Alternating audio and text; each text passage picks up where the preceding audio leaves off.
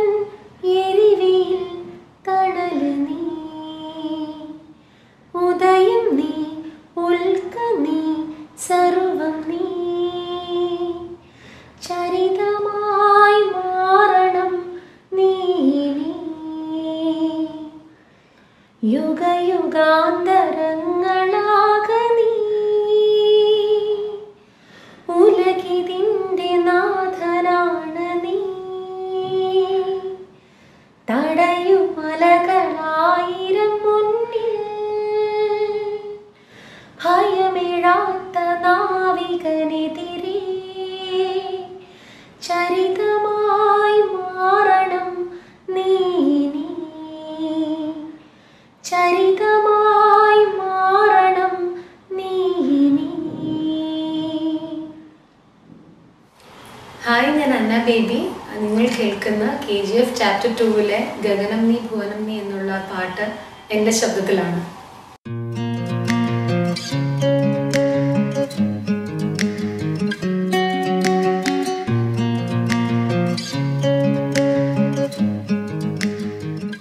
K G എഫിലേക്ക് ഒട്ടും പ്രതീക്ഷിക്കാതെയാണ് ഞാൻ വന്നത്. ആക്ച്വലി എന്റെ ഒരു ഫ്രണ്ട് വഴിയാണ് അതിലേക്ക് ഒരു ഓപ്പർച്യൂണിറ്റി വരുന്നത്. എന്റെ ഫ്രണ്ട് സാം സൈമൺ ജോർജ് എന്ന് പറഞ്ഞിട്ട് ഫ്രണ്ട് വിളിച്ചിട്ട് മ്യൂസിക് ഡയറക്ടറാണ് അദ്ദേഹം. പുള്ളി വിളിച്ചിട്ട് പറഞ്ഞു ഒരു ദിവസം എനിക്ക് നല്ല ഒക്ടോബർ ട്വന്റി ട്വന്റിയിലാണ് വൈകുന്നേരം വിളിച്ചിട്ട് പറഞ്ഞു Ravi sir K G F chapter ടൂവിലെ Malayalam വേർഷനിലേക്ക് ഫീമെയിൽ വോയിസ് നോക്കുന്നുണ്ട്. അപ്പം നീ ഒരു പാട്ട് പാടി അയക്കാൻ പറഞ്ഞു. ഞാൻ ചോദിച്ചു എന്താ അയക്കണ്ടേ? അപ്പം പുള്ളി പറഞ്ഞൊരു ഇൻസ്ട്രുമെൻസോ എഫക്ട്സോ ഒന്നും ഇല്ലാണ്ട് റോ ആയിട്ട് വോയിസ് ഫോണിൽ റെക്കോർഡ് ചെയ്താൽ മതി എന്ന് പറഞ്ഞു. അങ്ങനെ ഞാനത് പാടി അയച്ചു. സാം കുറച്ചുപേരുടെ വോയിസ് ഇങ്ങനെ എടുത്തിട്ടുണ്ടായിരുന്നു. സാറിനെ കേൾപ്പിച്ചു. സാറിന് എന്റെ വോയിസ് ഇഷ്ടപ്പെട്ടു. അപ്പോൾ സാം എന്നെ വിളിച്ചിട്ട് പറഞ്ഞു സാറിന് ഇഷ്ടപ്പെട്ടിട്ടുണ്ട്. അപ്പം വിളിക്കുമെന്ന് പറഞ്ഞു. അപ്പം കൊറോണ ഒരു പീക്ക് ഫസ്റ്റ് വേവിന്റെ പീക്ക് സമയത്താണ് നിൽക്കുന്നത് അപ്പം അന്ന് വൈകുന്നേരം സാർ വിളിച്ചിട്ട് പറഞ്ഞു മാംഗ്ലൂർക്ക് എത്തണം പിറ്റേ ദിവസം തന്നെ. ആദ്യം ഒരു ടെൻഷൻ ആയിരുന്നു എങ്ങനെയാകും പക്ഷെ ഹസ്ബൻഡിന്റെ ഒക്കെ ഭയങ്കര സപ്പോർട്ട് ഉണ്ടായിരുന്നു. അപ്പം എന്തായാലും പോവാം. ഇത്ര നല്ലൊരു ഓപ്പർച്യൂണിറ്റി ആയിട്ട് ആണ്. അപ്പം മിസ് ചെയ്യാൻ പറ്റില്ലല്ലോ. അങ്ങനെ പിറ്റേ ദിവസം തന്നെ ഞങ്ങൾ കയറി മാംഗ്ലൂർ എത്തി സാറിന്റെ സ്റ്റുഡിയോയിൽ അന്ന് രാത്രി തന്നെ റെക്കോർഡ് ചെയ്തു. നെക്സ്റ്റ് ഡേ ഞങ്ങൾ രാവിലെ പോരുകയും ചെയ്തു. അങ്ങനെ പെട്ടെന്നായിരുന്നു എല്ലാം സംഭവിച്ചു ഒരു ഒറ്റ നൈറ്റ് കൊണ്ടാണ് വേണമെങ്കിൽ പറയാം. വോയിസ് സാമ്പിൾ അയക്കാൻ പറഞ്ഞപ്പോൾ ഞാൻ കെ ജി എഫ് ചാപ്റ്റർ വണ്ണിലെ ധീര ധീര എന്നുള്ള സോങ്ങിലെ ഫീമെയിൽ പോർഷനാണ് പാടി അയച്ചത്.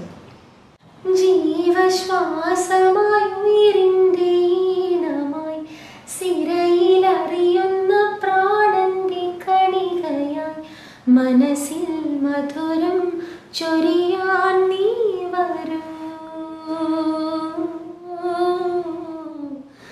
ഹൃദയം കുളിരായി തഴുകും തിന്നലായി ധീരാ ധീരാ ധീരാ ധീരാ നീരണ ധീരാ ധീരാ ധീരാ ധീരാ ധീരാ നീരണ ധീരാ ധീരാ ധീരാ ധീരാ ധീരാ നീരണ ധീരാ ധീരാ ധീരാ ധീരാ ധീരാ നീരണ ധീരാ അന്ന് സാറിനെ മീറ്റ് ചെയ്തപ്പം ഇത് ഇത്രയും വലിയൊരാളാണെന്ന് പോലും നമുക്ക് മനസ്സിലാവാത്ത അത്ര ഒരു ഹംബിൾ പേഴ്സൺ ആണ്. ഭയങ്കരമായിട്ട് നമ്മളെ കംഫർട്ടബിൾ ആക്കുന്ന ഒരു പേഴ്സണാലിറ്റിയാണ് ഭയങ്കര സിമ്പിൾ ആണ് ആൾ. സാറിന്റെ അടുത്ത് വർക്ക് ചെയ്യാൻ വളരെ ഈസി ആയിരുന്നു തന്നെ പറയാം.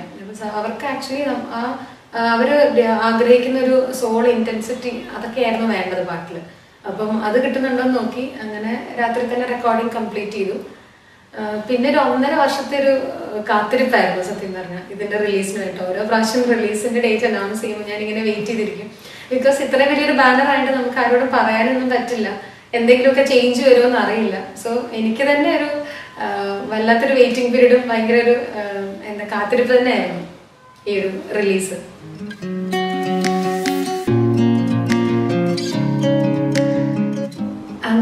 കാര്യങ്ങളൊന്നും ചിന്തിക്കാനുള്ള ഒരു സമയം എനിക്ക് കിട്ടിയിട്ടുണ്ടായിരുന്നില്ല. ഞാൻ ആക്ച്വലി പെട്ടെന്ന് ഒരു ഒരു ദിവസം ഒരു രാത്രി കൊണ്ടാണ് ഈ പാട്ടിലേക്ക് വരുന്നത്. അപ്പൊ രവി സാറിന്റെ സ്റ്റുഡിയോയിൽ ചെന്നിട്ട് സാറ് പറഞ്ഞതനുസരിച്ചാണ് റെക്കോർഡ് ചെയ്തതും അത് ഫീലൊക്കെ സാറ് പറഞ്ഞതനുസരിച്ചാണ് ചെയ്തത്. പക്ഷെ അതൊക്കെ ഞാൻ അമ്മയാവുന്നതിന് മുൻപായിരുന്നു. പക്ഷേ വിഷ്വലിൽ കുറച്ച് ചേഞ്ചസ് വന്നതുകൊണ്ട് അതിൽ കുറച്ച് ഇന്റൻസിറ്റി കൂടുതലായിട്ട് വേണ്ട വന്നു. ഇമോഷണൽ ആയിട്ടുള്ള കുറച്ച് ഭാഗങ്ങളുണ്ടായിരുന്നു. അതിലേക്ക് കുറച്ച് ഭാഗം പാട്ടിന്റെ റീ റെക്കോർഡ് ചെയ്യേണ്ടി വന്നു. ആ സമയത്ത് ഞാനൊരു അമ്മയായിട്ടുണ്ടായിരുന്നു. അപ്പോൾ എനിക്ക് തോന്നുന്നു അത് ഇമോഷണലി കുറച്ചുകൂടി കണക്ട് ചെയ്യാൻ പറ്റിയിട്ടുണ്ടാവണം.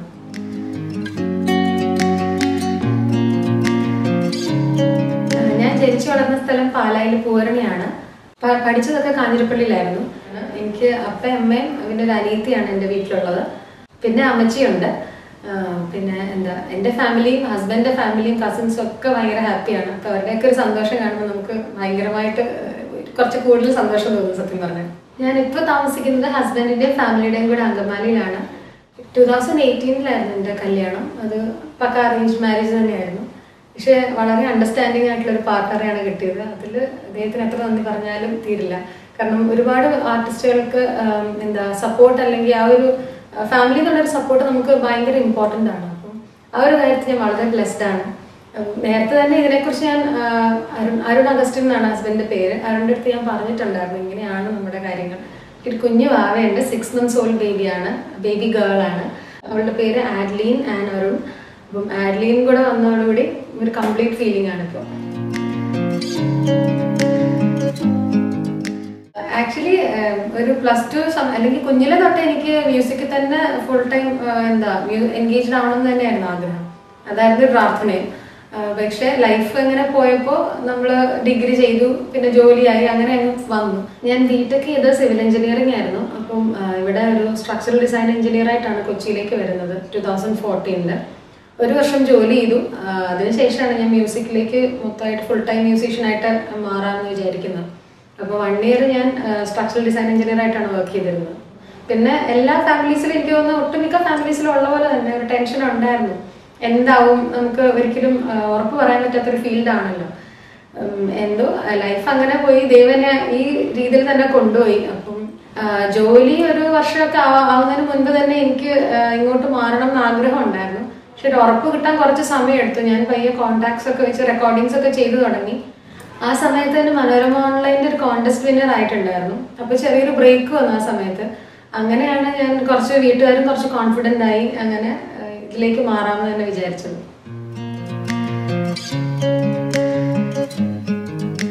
ദാസാറിന്റെ കൂടെ അതും ഭയങ്കര പ്രതീക്ഷിക്കാതെ വന്നൊരു ഓപ്പർച്യൂണിറ്റിയാണ് ഞാൻ ഫസ്റ്റ് ആയിട്ട് ലീഡ് പാടുന്ന സ്ഥാനം എന്ന് പറഞ്ഞൊരു മൂവിക്ക് വേണ്ടിയിട്ടാണ് കവിയൂർ ശിവപ്രസാദ് സാർ സംവിധാനം ചെയ്തിട്ട്.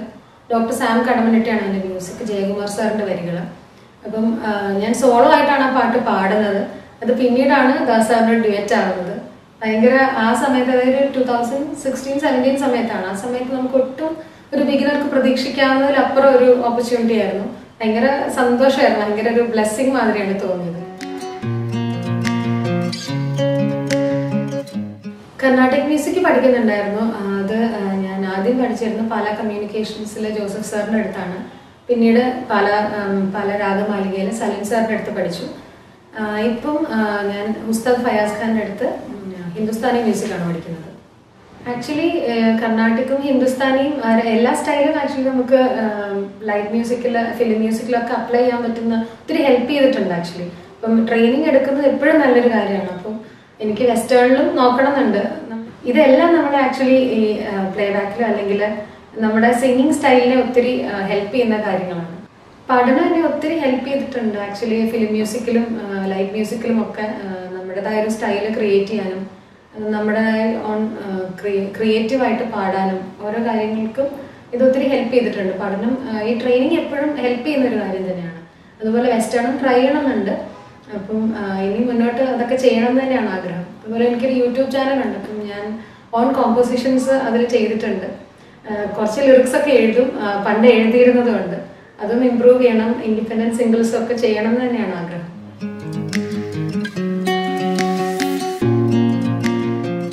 എനിക്ക് മൂവി ഇറങ്ങുന്നതിന് മുമ്പ് എന്റെ വോയിസ് എവിടെയാ വരുന്നതെന്നൊന്നും അറിയില്ലായിരുന്നു.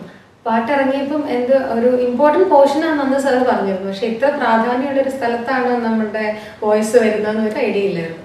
അപ്പം ഞാൻ പ്രീമിയറിനാണ് പോയത്. പി വി ആറിൽ ലുലു പി വി ആറിൽ എന്നിട്ട് ഫസ്റ്റ് ഹാഫിൽ ഞാനിങ്ങനെ വെയിറ്റ് ചെയ്തിരുന്നു. അപ്പൊ ഒരു പോർഷനിൽ ഒരു നമ്മുടെ പാട്ടിന്റെ ട്യൂണിൽ ഒരു കോറസ് വന്നപ്പോൾ ഞാൻ ഇപ്പൊ പാട്ട് വരും എന്നൊക്കെ വിചാരിച്ചിരുന്നു.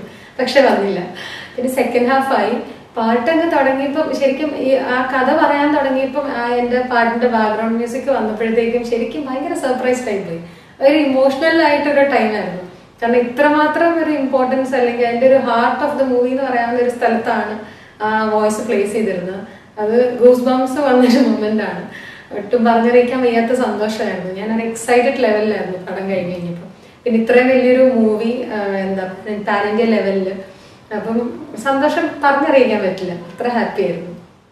ആക്ച്വലി പാട്ട് റിലീസായി കഴിഞ്ഞിട്ട് ഒത്തിരി നല്ല റെസ്പോൺസ് വന്നിരുന്നു. ഒരുപാട് ആൾക്കാർ വിളിക്കുകയും മെസ്സേജ് അയക്കുകയും ഒക്കെ ചെയ്തിരുന്നു. നമ്മൾ അറിയാത്ത നമ്മുടെ വോയിസ് എത്തിയിട്ടില്ലാത്ത ആൾക്കാർ ഓഡിയൻസിലെ ഓഡിയൻസിന്റെ അടുത്തേക്ക് നമ്മുടെ വോയിസ് എത്തി. അങ്ങനെ വളരെ സന്തോഷമായിരുന്നു. പക്ഷേ തിയേറ്ററിൽ പാട്ട് വന്നു കഴിഞ്ഞപ്പം വേറൊരു വേറൊരു തലത്തിലുള്ള റെസ്പോൺസ് ആണ് വന്നത്. അത് ഭയങ്കര സന്തോഷം ഉണ്ടാക്കിയൊരു കാര്യമാണ്. ആ കോണ്ടെക്സ്റ്റിൽ അത്രയും ഇമ്പോർട്ടൻസിൽ പാട്ട് വന്നു കഴിഞ്ഞപ്പം ഒരുപാട് ആൾക്കാർ വളരെ ഇമോഷണൽ ആയിട്ട് തന്നെ മെസ്സേജ് അയക്കുകയുണ്ടായി. പിന്നെ എന്റെ പഴയ ഒരു ടീച്ചർ ഒരുപാട് നാളായിട്ട് കോണ്ടാക്ട് ഇല്ലാത്ത ഒരു ടീച്ചർ വിളിച്ചു. എന്റെ എൽ കെ ജിയിലെ ടീച്ചറാണ് അപ്പോൾ മിസ്സ് ഭയങ്കര ഹാപ്പി ആയിട്ട് അന്ന് കുഞ്ഞിലെ പാടിയ പാട്ടൊക്കെ എന്നെ ഇങ്ങോട്ട് ഓർമ്മിപ്പിച്ചു. പിന്നെ കുറെ പഴയ ഫ്രണ്ട്സ് നമുക്ക് തീരെ നമ്മളിപ്പം വിളിക്കുന്നു അല്ലെങ്കിൽ നമുക്ക് ഒരു കോണ്ടാക്ട് ഇല്ലാത്ത ആൾക്കാരും അങ്ങനെയൊക്കെ ഒരുപാട് പേരുടെ മെസ്സേജുകളൊക്കെ വന്നു. അതൊക്കെ വളരെ സന്തോഷം തോന്നിയ മൊമെന്റ്സ് ആണ്. പിന്നെ മ്യൂസീഷ്യൻസ് ആയിട്ടുള്ളവരും ഒക്കെ ഒരുപാട് പേര് മെസ്സേജ് അയച്ചു. അപ്പം എല്ലാവരുടെയും നല്ല റെസ്പോൺസും നമ്മുടെ ഇഷ്ടപ്പെടുന്നു നമ്മുടെ വോയിസ് ഇഷ്ടപ്പെടുന്നു എന്നൊക്കെ അറിഞ്ഞതിൽ ഒത്തിരി സന്തോഷം തോന്നുന്നു ഇൻസ്റ്റയിലും ഒത്തിരി പേര് തപ്പി വരുന്നുണ്ടായിരുന്നു. ലൈക്ക് ഞാനൊരു കമന്റ് ഇട്ടിട്ടുണ്ടായിരുന്നു. പാട്ടിന്റെ താഴെ താങ്ക്സ് പറഞ്ഞിട്ട് ഇത്ര റെസ്പോൺസിന് അപ്പൊ അതിൽ നിന്ന് ഒത്തിരി പേർക്ക് പലരും ഇങ്ങനെ ആളെ അറിയില്ലായിരുന്നു ആരാ പാടിയിരിക്കുന്ന അറിയില്ലായിരുന്നു. അപ്പം ആളെ നോക്കി കുറെ മെസ്സേജുകൾ ഇങ്ങനെ വന്നു ഞങ്ങൾ ആളെ നോക്കി വന്നത് അങ്ങനെ കണ്ടുപിടിച്ചെന്നൊക്കെ പറഞ്ഞിട്ട്.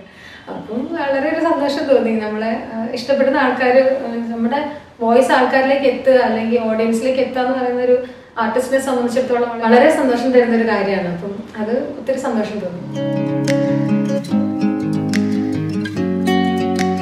ഞാൻ ആക്ച്വലി ഈ ഇത് ആരോടും പറഞ്ഞിട്ടില്ലായിരുന്നു. കാരണം ആൾക്കാർക്ക് വിശ്വസിക്കാൻ ബുദ്ധിമുട്ടാണെന്ന് അറിയാം കാരണം എനിക്ക് ഇത്രയും വലിയൊരു മൂവിയിൽ ഞാൻ ഇതുവരെ പാർട്ടായിട്ടില്ല കുറച്ച് മൂവീസ് പാടിയിട്ടുണ്ട്. പക്ഷെ എന്താ പറയാ ഇത്ര ഒരു മെയിൻ സ്ട്രീം മൂവി വന്നിട്ടുണ്ടായില്ല. അപ്പം വിശ്വസിക്കുകയില്ല എന്ന് തന്നെയല്ല എനിക്ക് തന്നെ വിശ്വസിക്കാൻ ബുദ്ധിമുട്ടായിരുന്നു. അതുകൊണ്ട് ഞാൻ ആരോടും പറഞ്ഞിട്ടില്ല. എന്റെ ക്ലോസ് സർക്കിളിന് മാത്രമേ അറിയുന്നുണ്ടായിരുന്നുള്ളൂ.